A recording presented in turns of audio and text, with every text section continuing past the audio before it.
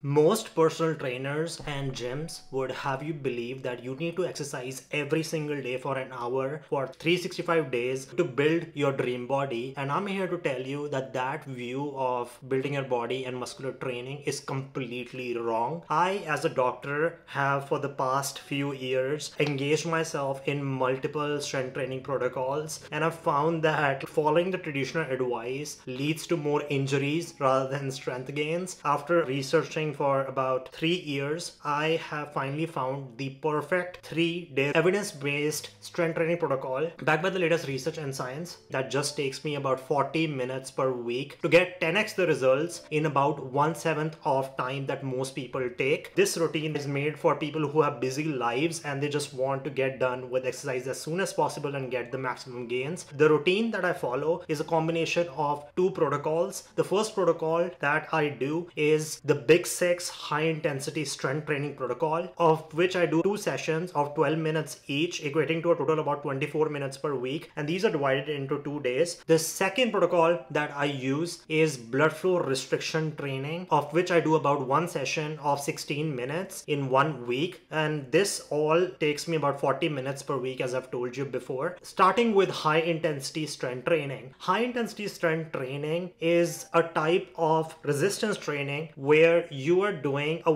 very high load exercise with very low volume, meaning the load is high and the reps are low as compared to high rep training. Research suggests that high intensity strength training has multiple benefits. It increases muscle mass, which has benefits from decreasing aging by about nine years to increasing your basal metabolic rate because more muscles require calories, to lowering the risk of developing diabetes, heart disease, and of course, it makes you look really good. The second benefit of high intensity strength training is unlike cardio, it is way safer because in cardio, what we are actually doing is we are using the acceleration component of the force. So force is mass into acceleration. Whenever you play with acceleration, you don't have control over it and sudden disruptions in the velocity and the acceleration can cause muscle tendon injury compared to when we look in a controlled strength training environment where we are lifting weights. As you lift weights, your muscles get weaker while lifting that weight and this causes you to drop the weight, meaning there's less chances of injury. Again, we're here dealing with mass and not acceleration, which is easily controllable. That's why high intensity strength training is safer if you want to get strength gains compared to cardio. Thirdly, high intensity strength training causes increased burning of fat by releasing uh, factors such as epinephrine. Fourthly, it also increases bone mass density, preventing the risk of having fractures or osteoporosis in the future. The routine that I personally use is called the Big Six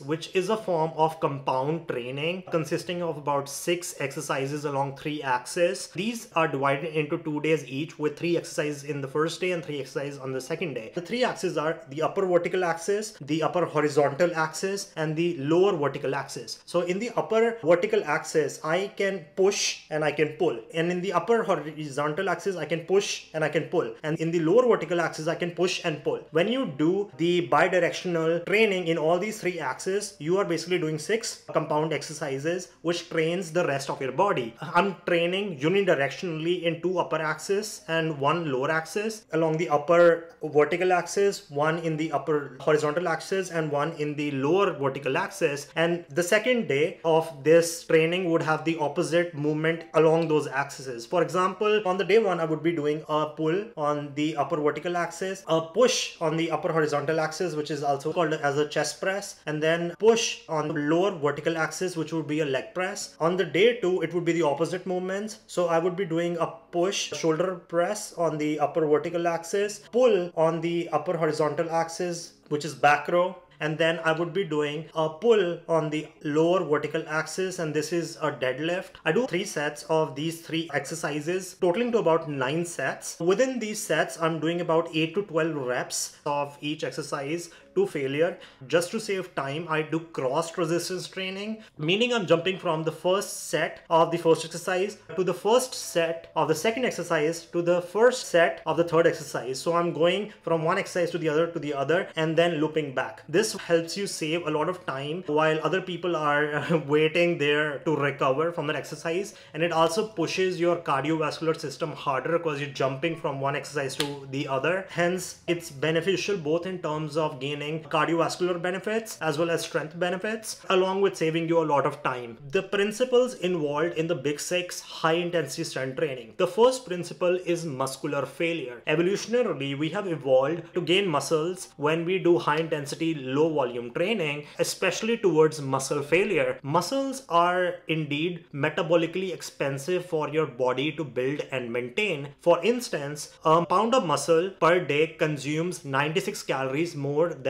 a pound of fat. And if we dive into our species survival and evolution, going perhaps 100,000 years ago, there was a shortage of food, which is why our bodies adapted to conserve energy in the maximum way possible. So your body would not give you big muscles until it felt that you needed it because they are metabolically expensive compared to other forms like fat in terms of energy and maintenance. And this is why we must reach muscular failure. When you reach muscular failure, that is when you're lifting weights and you can no longer lift weights, you are sending a signal down to your body that if you don't get stronger, you are gonna die. And your body is then forced to invest in the single resource that can protect it from death that is bigger muscles and more strength to fend off any danger. Research suggests that lifting heavy weights in about 8 to 12 reps where you reach failure with these heavy weights is the most beneficial exercise for your body. There's another benefit of reaching muscular failure, especially if you do it within this 8 to 12 rep limit. The benefit of this being sequential recruitment. As you lift weights, your muscles start getting weaker and this is because of two factors. One, because there's injury happening along the muscles. Secondly, we are running out of oxygen in those muscles. This forces your muscles to switch from anaerobic metabolism to anaerobic metabolism and basically switches the muscle fibers from type 1 muscle fibers to type 2 muscle fibers. Type 1 muscle fibers are called as slow twitch fibers and they are engaged when you're lifting light weights or when you're doing your exercise for the first few reps, you're actually using type 1 fibers because they're oxygen dependent. For the second half of the exercise and as you reach muscular failure, you're engaging type 2 muscle fibers, which are also called as fast twitch fibers. These muscles rely upon anaerobic metabolism and they are far more powerful and stronger than type 1 fibers. If you were to think about this in an evolutionary context, as you are, let's say, fighting off a tiger and you're running out of energy, your body presumes that you need more strength to fight off that tiger and switches it to type 2 muscle response, which is way stronger, albeit it's way shorter because they're utilizing more energy via glycolysis, which is anaerobic metabolism. Building type 2 muscle fibers over type 1 is where the gold mine of strength training lies in. This is because type 2 muscle fibers are more powerful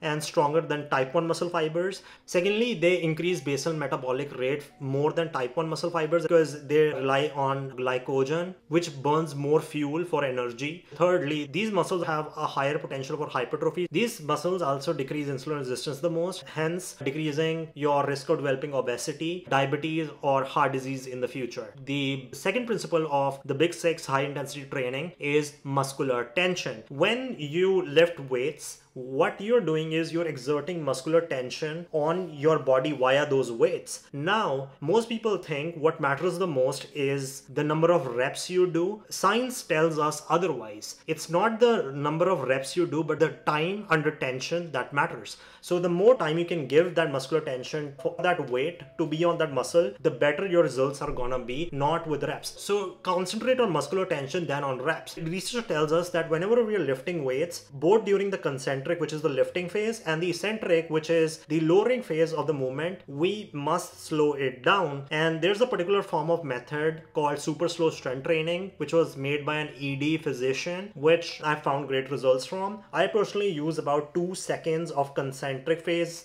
which is the lifting phase, and three seconds of the eccentric phase where I'm releasing the weight, totaling about a five second time under tension per rep. So two seconds of lifting, three seconds of releasing for a total of about 8 to 12 reps. This in contrast to other people in the gym who are just trying to get the rep count in, which doesn't make as much as difference as time under tension. The third principle is progressive overload. As you will start getting stronger because of the hypertrophy happening in your muscles. So the weight requirement to reach muscular failure will also be increased. As you progress, keep increasing the weight so that you reach muscular failure. I personally, for each exercise, do three sets. In the first set, for the weight that I'm using, I should be failing in at least 12 reps. In the second set, I should be failing in at least 10 reps and above. And in the third set, I should be failing in at least 8 reps for that set. Now, as you get stronger, you will start increasing the amount of reps per set if you're looking at the second and the third set. Let's say if I'm doing chest press using a weight 60 pounds, I would only increase the weight that I'm lifting for that exercise if I'm able to reach 12 in the first set, 12 in the second set, and 12 in the third set. Unless I'm able to do that, I won't be increasing the weight because then if you do that, you're compromising a lot on uh, the whole sequential recruitment as well as the range of motion. You will be holding the wrong position, which can even damage your muscles. For example, for the chest press exercise, for the first set, I should be at least doing about 12 chest presses to failure. In the second set, I should be at least doing 10 chest presses for that weight to failure. And in the third set, I should be doing at least 8 chest presses to failure. If I'm able to move to 12, 12, 12 for each of these sets, I'll be going to a higher weight, let's say 70 pounds, and then see if I'm able to maintain at least 10 and 8 reps in my second and third set. The second evidence-based protocol is blood flow restriction training or KAATSU training. Blood flow restriction training is used by the likes of Olympic athletes to accelerate strength gains while using lighter weights which stress their muscles less. Blood flow restriction training implies restricting blood flow to specific muscles during exercise. This has multiple mechanisms of action. The first one being increasing metabolic stress in your muscles via partial arterial occlusion, full venous occlusion, which causes increased lactate and creatine phosphate in your muscles. These are essentially the metabolites that make you feel the burn during the exercise and they make your muscles stronger and cause a greater adaptive response. It also causes a greater hormonal response, essentially a growth hormone response compared to a similar intensity exercise without using BFR. It also affects your muscles on a gene expression level by inhibiting myostatin, which is a significant muscle growth inhibiting factor. Uh, a 2018 meta-analysis showed that low-level blood flow restriction training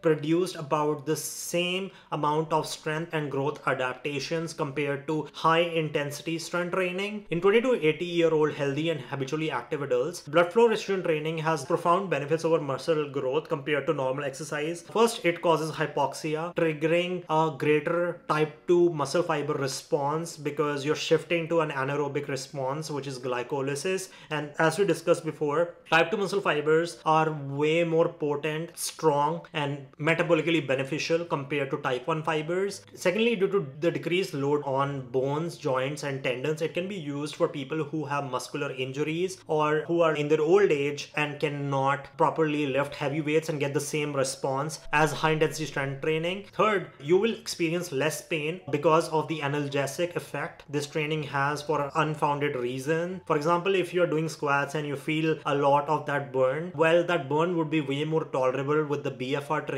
allowing you to do more reps for that training. It improves your ability to utilize oxygen. Since you're restricting blood flow to the muscle, it forces the muscle to be more effective in utilizing this oxygen, increasing your VO2 max. Fifth, the workouts with blood flow restriction training are way shorter than with traditional high intensity resistance training. I personally use Saga Fitness's blood flow restriction bands. The reason why I prefer this company over other companies is because these are the most advanced BFR bands you will see and are even being utilized in research. These bands, when you put them on your arms, they're able to find the limb occlusion pressure and they are able to occlude it at a safe percentage of that limb occlusion pressure so that you don't cause any harm to your body and are training at a safe occlusion pressure. Secondly, they give you at least a memory for that occlusion pressure because if you're using other bands, it's very hard to know exactly what occlusion pressure you used before. But with Saga Fitness, the band remembers and occludes it at a certain occlusion pressure. Thirdly, it gives you a graduated interval increase in occlusion pressures, unlike other bands where it's all very subjective. I do one session of blood flow restriction training, which lasts 16 minutes in one week, completing my three day strength training routine. During this day, I do three exercises of four sets each using these cuffs, all of them being curls like biceps curl, triceps curl, and leg curl, totaling to about 12 sets. Each exercise has about four sets, with the first set being 45 reps and the second to fourth set being about 15 reps for a total of 75 reps per exercise. This goes on for three different exercises in total. By the end of my BFR workout, I'm so damn sore, way more sore compared to my high intensity strength training. Using BFR technology is just changing my life. So guys, that's my full evidence-based routine, just 40 minutes a week for peak fitness. If you like this video, please consider hitting the like button and subscribing. Thank you for watching.